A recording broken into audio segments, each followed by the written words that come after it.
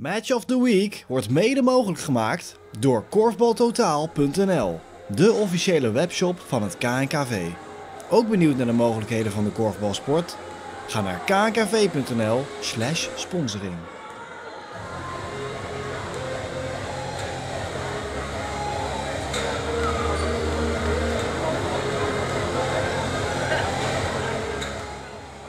Driebergen is uitgelopen voor de degradatiekraker van het weekend. AWD-TV komt op bezoek. De ploeg uit Amsterdam, 8 punten. Zij staan negende. Dalto heeft één puntje minder en staat laatste. Floris Tam hier links in beeld. Hij keert terug in sporthal de Hoenderdaal. Hij is nog gewoon lid van Dalto. Werd in de A1 zelfs Nederlands juniorenkampioen als coach. En coachte ook nog even later een tijdje tweede. En in de selectie van AWD-TV zien we ook veel spelers met een verleden in Driebergen. Nummer 14, Maarten van Brenk. Zijn tijd bij Dalto was niet een heel erg groot succes. En dit is de dame om wie eigenlijk alles draait bij AWD-TV met rug nummer 7, Ilona van den Berg. Goalgetter van beroep. Dit zijn de coaches van Dalto. Bergsma en Verbree. Zij wisten van tevoren al dat ze een lastig seizoen tegemoet zouden gaan. En dat blijkt ook zo. Maar dit is wel een lichtpuntje. De nummer 12, pas 19 jaar, Matthijs den Oude. En juist in die sportieve malaise waarin Dalto zich een beetje bevindt, dan staat hij op. En dat is knap. Hier Dico de Jager, ook al een jongen uit de eigen jeugd. Het zou eigenlijk zonde zijn als zo'n instituut als Dalto de Korfbal League zou moeten verlaten. Een club met veel goede jeugd, die ook aardig kan dansen trouwens. Een fanatiek publiek. Maar je moet het als club zijn natuurlijk wel zelf afdwingen. En daar heeft Dalto het moeilijk mee in dit seizoen. Ze beginnen wel aardig aan de wedstrijd. Het staat 1-0 en even later 2-0. Gilbert Punt tikt die bal slim door naar René Sietsma. Zo is de voorsprong in de beginfase voor de thuisploeg. Goede rebound bij Stijn Hoekstra en dan ziet de grensrechter ook dat de veter los zit. En als je dan kijkt naar die oververhitte reacties bij de trainers, dan zie je dat de spanning er wel degelijk op zit in dit duel. Bergsma roept om de veiligheid van de spelers. Stam klaagt over de schotklok. Maar uiteindelijk kan Buis gewoon doorspelen. En heeft Jim snel pech met dit schot. En zo blijft AWD-TV nog op de nul staan. Sterker nog, Den Oude gaat er lang schitterende doorloopbal. En dan wordt het zelfs 4-0 voor Dalto. Een droomstart voor de ploeg uit Driebergen. Dan een vrije bal. De specialiteit van Ilona van den Berg. Maar goed verdedigd door Paula Bos. Uitstekend gedaan. Van den Berg wil die bal sneller hebben. Maar Paula Bos zit er gewoon heel erg goed bij. Bos die trouwens nog in die juniorenploeg zat. Toen Stam coach was van Dalto A1. Even later dan wel een straf opgeforceerd door Van den Berg. En Stefan Pang dan met het eerste doelpunt voor AWD-TV. De ploeg die promoveerde vorig jaar in die hoofdklassefinale ten koste van DOS 46. Hier dan wel het eerste doelpunt voor Van den Berg, 4-2. Als Dalto weer in de aanval is, het is inmiddels 5-2. Met Paula Bos van schuin achter de korf. 6-2 en zo blijft het verschil 4 in het voordeel van Dalto. En weer natuurlijk het zoeken naar Van den Berg gaat er niet in. Maar overtreding geconstateerd door Buis, goed gezien. De jager haakte daar onder de paal. En dan gaat die vrije bal er wel in. Is het 6-3. Het wordt dan even later 6-4. Met weer AWD-TV in de aanval. Het zoeken naar Jim Snell is hersteld van zijn knieblessure, speelde gewoon met een brace en is nog altijd loopie zuiver. 6-5 de aansluitingstreffer voor de ploeg uit Amsterdam. En even later komen ze ook langs zij. De goede actie van Van den Berg op haar linkerbeen. Het maakt allemaal niet uit. En dan is het 7-7 en is de stand dus weer gelijk. En weer Van den Berg. Het blijft lang gelijk opgaan. Dit is de 11-11. Alweer haar vijfde. En er komt Groot Hulze in de ploeg voor René Sietsma. En het is weer Dalto dat een gaatje slaat. 12-11 en hier wordt het 13-11. Weer door Matthijs den Oude. Hij lacht alsof hij verbaasd is dat hij daar blijft scoren in de league. Maar het is gewoon een hele goede speler. En ook zij is een aanvulling op de Korfball League. Ja, Wen Lin. Afkomstig uit Taiwan. Dus een goede dame. En hier zien we de tactiek bij AWD TV. Dubbele dekking op Van den Berg. Die wil die bal eerder hebben. Hier gaat ze door de schotblok heen. En dat zegt ze ook. Geef die bal nou eerder aan mij. Dat lijkt grootspraak, maar het is gewoon de realiteit.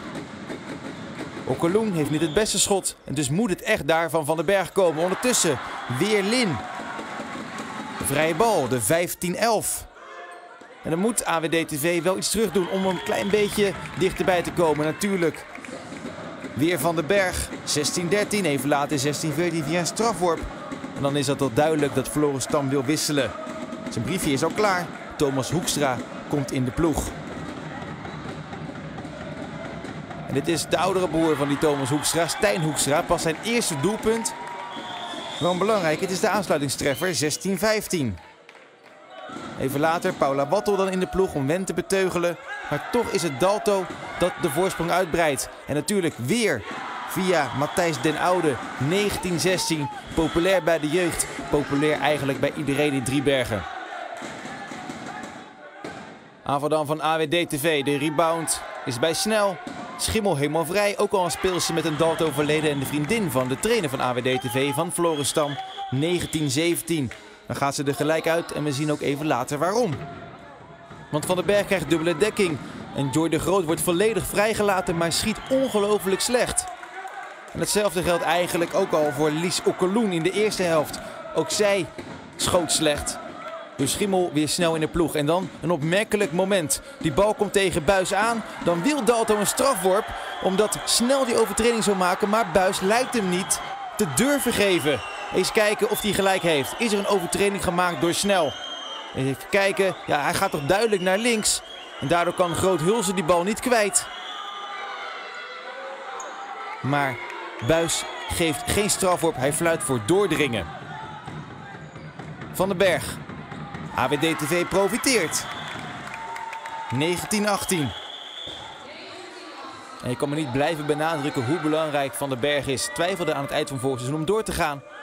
Maar gelukkig voor iedereen binnen AW is ze er gewoon bij. En weer een opmerkelijk incident. Weer wilde D-side een strafworp. Omdat snel die bal uit de handen getikt zou hebben. Weer even kijken naar de herhaling. Maar snel zit er gewoon goed bij. Goede beslissing dus van Buis. Die bal was niet vast. Pech dus voor Dalto. Niemand zou hierover klagen. Dit ziet iedereen dat dit een terechte strafworp is. Van den Berg gaat er langs. En zit Pang. Met de 1919. Beide ploegen weer langs zij. Het zoeken dan naar Stijn Hoekstra. Speelt een goede tweede helft. En daar is de eerste voorsprong voor AWD TV 1920.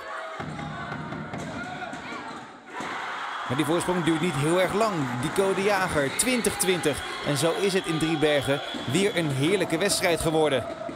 Misschien niet heel goed, maar veel belangrijke doelpunten. Weer Ilona van den Berg. 2021. Ze is niet te stoppen. Dan wordt Wen aardig verdedigd, wel ten koste van een vrije bal. En die Taiwanese kan het goed, ook op belangrijke momenten. 21-21. Daar komt Paula Bos erin. Is in het verkeerde vak. En dat geeft eens te meer aan hoe hectisch deze wedstrijd is. De belangen zijn groot. Grote kans dat de verliezer als tiende eindigt en zal degraderen. En wie is dan het beste? Wie is het meest fit? Het meest fit is niet Stijn Hoekstra, maar hij is op dit moment wel heel erg belangrijk. 21-22. Misschien doet hij dit ook wel bewust om wat tijd te hebben. Hier gaat Van den Berg te goed langs. En dit is een uitstekende damescombinatie. En dan is het lekker als je met een dame speelt die wel kan scoren. Lianne Schimmel met de 22-23. Even later wordt het verschil zelfs 2 in het voordeel van AWD TV via Stijn Hoekstra. 23-25 en moet Dalto in de achtervolging via Wen. Strafworp nee, niet gegeven. Vrije schietkans, dan wel een strafworp. Ja, op advies van de grensrechter. Wijst Buis alsnog terecht naar de stip. En dan is het punt. Hij kan het verschil weer 1 brengen. En dat doet hij ook. 24-25.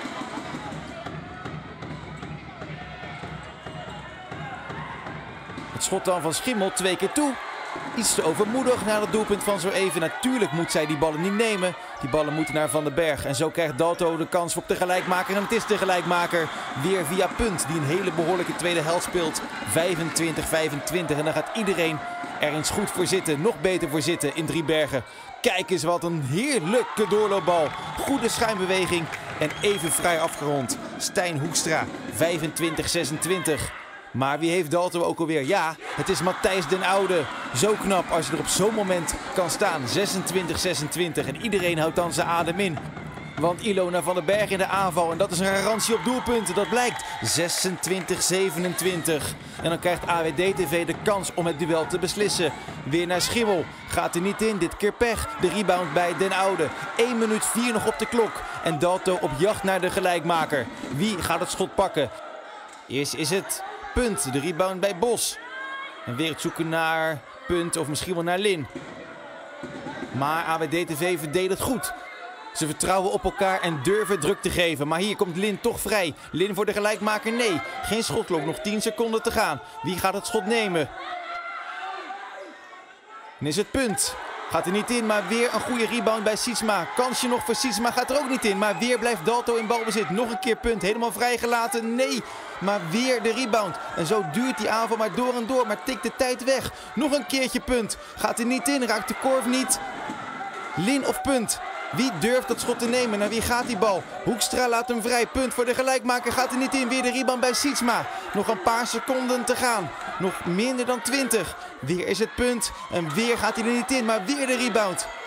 Dalto blijft leven, maar hoe lang nog? Sietsma gaat er niet in, dan Lin met het laatste schot, want daar is de rebound bij. Snel! En zo wint AWD-TV in het hol van de leeuw. Vreugde bij de Amsterdammers. Een ongelooflijk zuur voor Dalto. 26-27 en hij, Florestam, doet zijn club misschien wel de das om in de strijd tegen degradatie. Want het verschil met AWD-TV is drie punten. En dus is dit een hele belangrijke overwinning voor AWD-TV. Florestam, hoe voelt het nou om je eigen clubje Dalto je pijn te doen?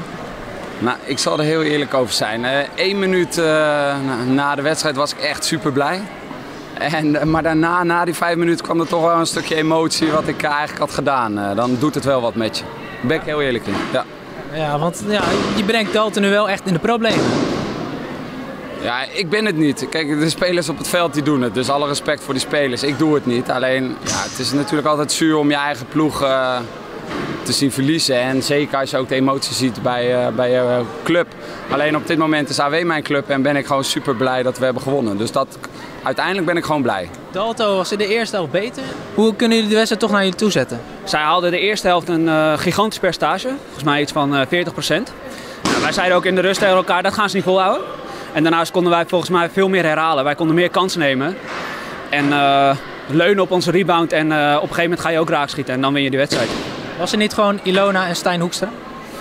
Uh, wij zijn wel de mensen die de goals moeten maken. Maar als je ziet hoe een Jim uh, vandaag uh, staat te rebounden, hoe, hoe Stefan en Thomas staan te rebounden, ja, dan kan je ook wel blijven schieten. Hoe voelt het nu ook om even adem te kunnen halen? Of moeten jullie toch nog steeds oppassen? Nee, wij kunnen geen adem halen, want alles staat nog op twee of op drie punten. Wij moeten nog, wat, wat ik ook al zei in het filmpje, wij moeten nog, nu nog twee wedstrijden echt volle bak en daar hopen punten te halen. En dan hou je alles in eigen hand. Jorde Bergsma, uh, hoe kijk je ten eerste eigenlijk terug op die laatste anderhalve minuut? Ja, waardeloos natuurlijk. Ja, weet je, uiteindelijk, uh, we wilden gewoon winnen. Maar als je die laatste anderhalve minuut ziet en dan denk je, goed, als we dan een punt kunnen halen, dan is het nog prima. Ik denk dat de wedstrijd er ook naar was. Die was gewoon redelijk gelijkwaardig. ja, die had gewoon moeten vallen, die laatste bal. Ik bedoel, we krijgen, volgens mij hebben we anderhalf minuut lang de bal gehad. En 6, 7, 8 schoten misschien wel op de korf ook nog eens. Ja, die moet gewoon binnenvallen dan. Wint AWD-TV hier wel terecht? Uh, ja, uiteindelijk win je denk ik altijd terecht. En uh, als ik even naar de eerste helft kijk, vond ik echt dat wij beter waren. Hadden we het ook onder controle nog. En dat wilden we ook echt zo houden. Alleen je zag in de tweede helft, of eigenlijk vlak voor de, voor de rust al, zag je dat wij uh, van 16-12 naar 16-14 kwamen ze. En daardoor verloren wij een klein beetje de controle. En in de tweede helft konden we, dat, konden we die controle niet meer terugpakken. Nu ja, drie punten achter op AWD-TV, nog steeds die laatste plaats. Ja, hoe erg voelt dat? Ja, dat doet nu wel even pijn. We hadden gewoon willen winnen. En dan sta je in ieder geval achtste. En uh, had je gelijk kunnen staan met Dossas die niet gewonnen hadden. Uh, maar dan had je in ieder geval de achtste plek gestaan. En dan waren zij weer in de achtervolging gemoeten. En nu is het heel simpel. We hebben nog, uh, nog drie wedstrijden. Waarvan één tegen Fortuna en één tegen Dos die we echt moeten winnen. En ja, bij top uit wordt het natuurlijk al sowieso lastig. dus we moeten gewoon de komende twee wedstrijden winnen. Hoe bang ben je voor degradatie? Moet, of moet het echt een Houdini-act worden? Nee, we zijn niet bang voor degradatie. Dat hebben we vanaf het begin van het seizoen gezegd. Uh, we weten ook de situatie waarin we zaten. Alleen als je ziet hoe we als team wel gegroeid zijn dit seizoen, uh, vinden wij wel dat we in de Corporate League thuis horen. Uh, zeker op basis van de laatste wedstrijden die we spelen. maar bang voor degradatie zijn we niet, omdat we gewoon wisten dat het een realistisch scenario bij ons was dit jaar. een reële Jorrit Bersma. Dit zijn de andere uitslagen. PKC weer eenvoudig. En heel knap hoor, 30 keer achter elkaar al ongeslagen. Dit keer ten koste van DVO. LDODK verliest van top. KZ verliest heel verrassend van DOS. Belangrijk in die strijd tegen degradatie. Ook omdat Fortuna heel erg knap in Amsterdam weet te winnen. PKC en top al zeker van de kruisfinale. Blauw-wit normaal gesproken ook wel, maar kijk vooral hoe spannend het is onderin. Dalto blijft laatste met 7 punten, 1 puntje minder dan DVO. Hele belangrijke punten nogmaals voor AWD-TV. En DOS moet misschien ook nog wel eventjes naar beneden blijven kijken.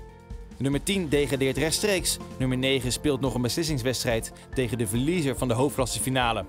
Dit is het programma voor volgende week met dus die inhaalwedstrijd van een helftje in Amsterdam tussen AWD-TV en Top. In het weekend dan vijf mooie wedstrijden weer en onze Mess of the Week gaat tussen Fortuna en Dalto.